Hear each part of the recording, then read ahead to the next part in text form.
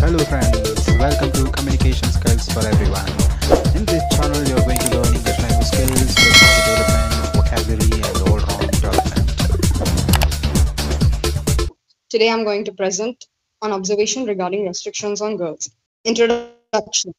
Being a girl, the very first fact, most of the parents feel she is burden to the family, especially in India. After the little girl is born, even before completing day one, parents parents go very far thinking about her future, like being matured and being married, etc.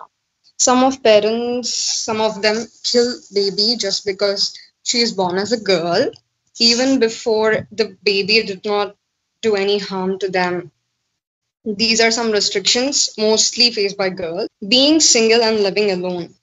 Girls or women cannot live alone, especially in India. She has to sacrifice her desires and should obey to all others around her.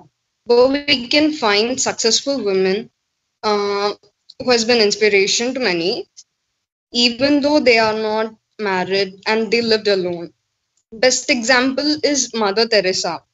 She came to India as a missionary and did free service to the poor.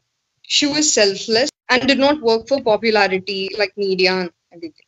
Being a woman alone, she was able to do great things and is an inspiration to many. Traveling alone or going out or coming late at night is restricted trusting girl is important. If she crosses the boundary, then restrictions should be kept on her. But before doing any wrong, possessing restrictions isn't correct. Give wings to their dreams instead of restricting them. Women are competing with men and uh, they made their way to space. For example, Kalpana Chawla was Indian, first Indian to go into space, Indian woman to go into space, and is an inspiration. After menstruation, there are some restrictions a girl face.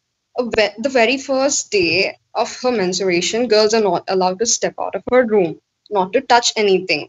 Uh, but this is done in olden days that a girl is ready for marriage, which has become a restriction now. This is just a natural phenomena happens to everyone. But still, due to some superstitious beliefs, restrictions are made foolishly. Most of you might know Manushi Chhillar. She came up with a project on menstrual hygiene. Uh, with that, she won Beauty with Purpose and she was Miss World 2017 and stays an inspiration to many. Finally, I would like to end up saying when you change the way you look at things, things you look at will also change. Thank you.